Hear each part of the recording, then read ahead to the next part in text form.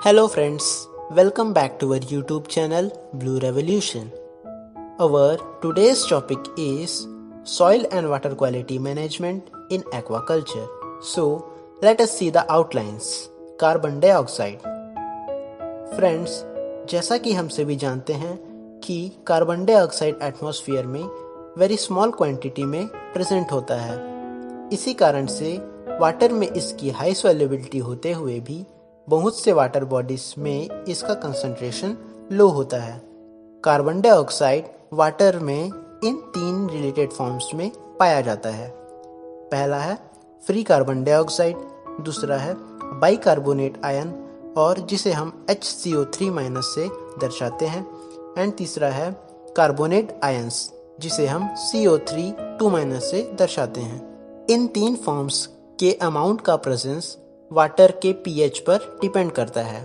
For example हम neutral and acidic water bodies को ले सकते हैं। यहाँ फ्री कार्बन डाइऑक्साइड का कंसंट्रेशन ज़्यादा होता है, जिसके कारण यह फॉर्म अधिकतर टॉक्सिक पाया जाता है।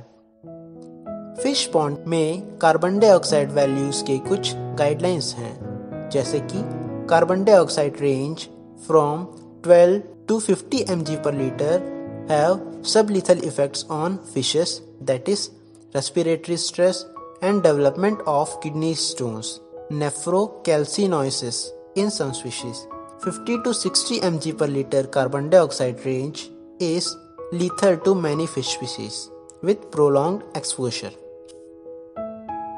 now we will discuss the measures of controlling high carbon dioxide concentration जिसमें पहला है हम वाटर में रिपीटेड एरिएशन करा के कार्बन डाइऑक्साइड के कंसंट्रेशन को कंट्रोल कर सकते हैं।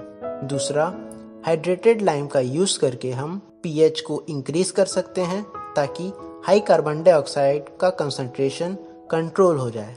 बहुत से एक्सपेरिमेंट से यह सामने आया है कि 1.0 mg पर लीटर हाइड्रेटेड लाइम 1.68 mg पर लीटर फ्री कार्बन डाइऑक्साइड को रिमूव कर सकता है। तीसरा हमें correct stocking feeding and fertilisation करना चाहिए ताकि फाइटोप्लैंकटॉन पॉपुलेशन और ऑर्गेनिक लोडिंग वाटर बॉडीज में रेगुलेट हो सके।